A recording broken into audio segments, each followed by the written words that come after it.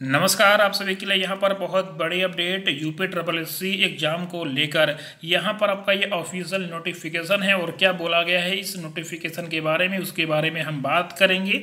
आयोग के विज्ञापन संख्या ज़ीरो एक दो हज़ार अठारह, यानी कि व्यायाम प्रशिक्षक क्षेत्रीय युवा कल्याण और प्रादेशिक विकास दल अधिकारी दो हज़ार अठारह के लिए यहाँ पर जो नोटिफिकेशन जारी हुआ, इसमें यह बोला गया है कि यहाँ पर आपका जो लिखित परीक्षा के बाद में आपका यहाँ पर जो शारीरिक परीक्षण होना था, यानी कि आपका जो फ़िज़िकल होना था, उसका जो डेट दिया गया था, वो यहाँ पर रद्द कर दिया गया है, ठीक है? यानी कि छः आठ छः चार उन्नीस, सात चार उन्नीस, आठ चार उन्नीस को आयोजित होने वाले न्यूनतम शारीरिक आपका जो फ़िज़िकल टेस्ट था, उसको यहाँ पर कुछ कारणों की वजह से स्थगित कर दिया गया है, ठीक है? तो यहाँ पर आपका जो फिज तो यहाँ पर आपका जो फ़िज़िकल का डेट है, उसको यहाँ पर स्थगित कर दिया गया, यानी कि आपका ये फ़िज़िकल का डेट यहाँ पर रद्द हो गया है।